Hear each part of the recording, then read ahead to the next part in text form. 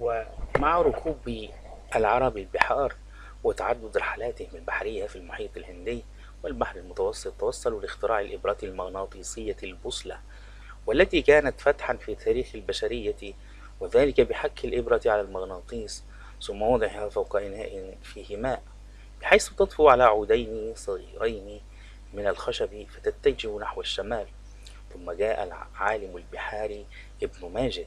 فاخترع أول إبرة جالسة على سن لكي تتحرك حركة حرة دون الحاجة إلى وعاء ماء مرادف كثرة جمع البحر مضاد مقيدة.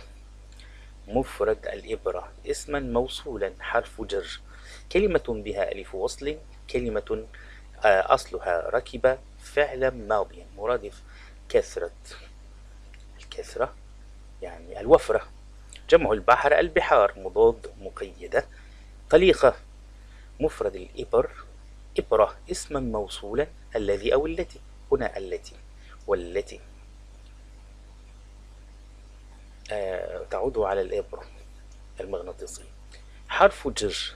فيه في كلمة بها ألف وصل الإبرة.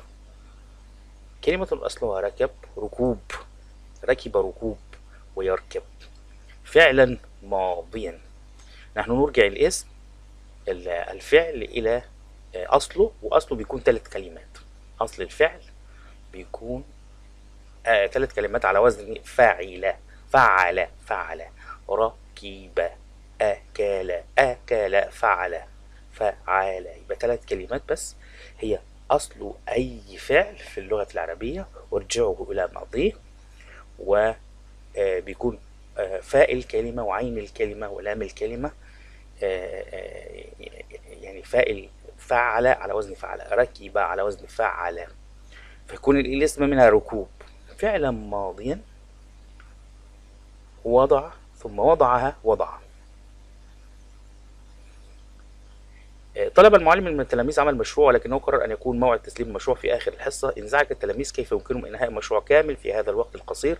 فكر طارق قليلا وقال لأصدقائه نستطيع أن إذا تكاتفنا فبسواعدنا جميعا نستطيع أن ننجز المهمة وبالفعل وزع التلاميذ المهام عليهم جميعا وأتموا المشروع في وقت محدد.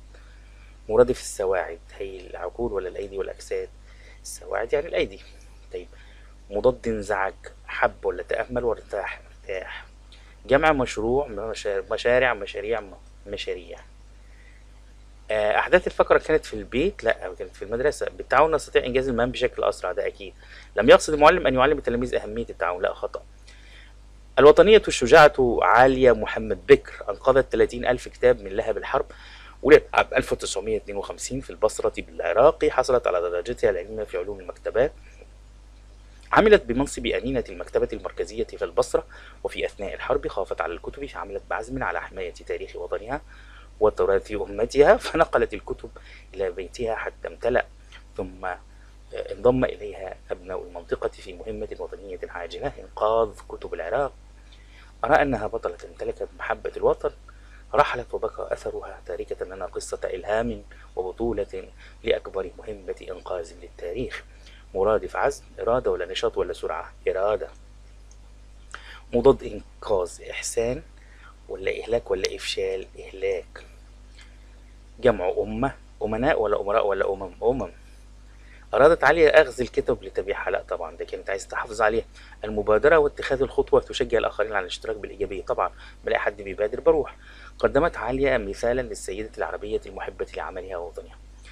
أجازتنا الصيفية لهذا العام كانت مختلفة ففي كل عام يدور نقاش أين سنقضي أجازتنا ونظل في خلاف لأيام ولكن هذا العام اتفقنا أننا لن نتجادل ونضيع وقتنا في الخلاف وسنحاول الوصول إلى حل وسط يرضي الجميع.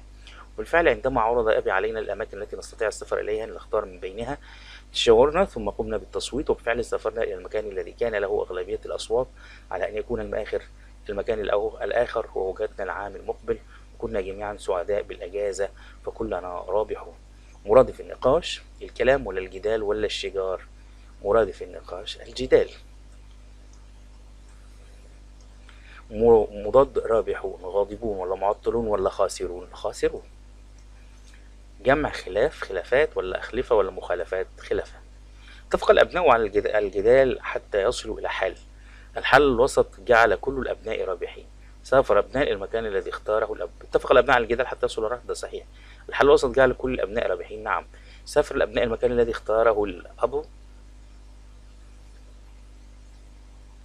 نعم. صحيح. طيب وصل عمي بالأمس من السفر فقد كان مهاجرا إلى بلد أجنبي. سمعت الحوار الذي دار بينه وبين أبي حول رغبته في إنشاء مشروع ليعمل به الكثير من الشباب المصري. سألت عمي متعجبا لماذا تفعل ذلك؟ أجاب عمي يا بني لابد من تعرف حقوقك وواجباتك. فأنا قد نشأت وتعلمت في صغري في هذا البلد وحملت جنسيته معي في كل عفوا في كل مكان. والآن حان دوري لأقوم بواجبي وأرد الجميل لبلدي. معنى دار دار حوار يعني جرى حوار مضاد حق آه، حق يعني باطل مضاد حق باطل. اسما علامته الآل السفر. عاش العم في مصر طوال عمره ولم يغادرها لا غلط. يسافر بره من واجب المواطن أن يرد الجميل لبلده. ده صحيح ده حقيقي. من واجب المواطن أن يرد الجميل لبلده. هذا صحيح. من حقوق المواطن التعليم والجنسية. نعم صحيح.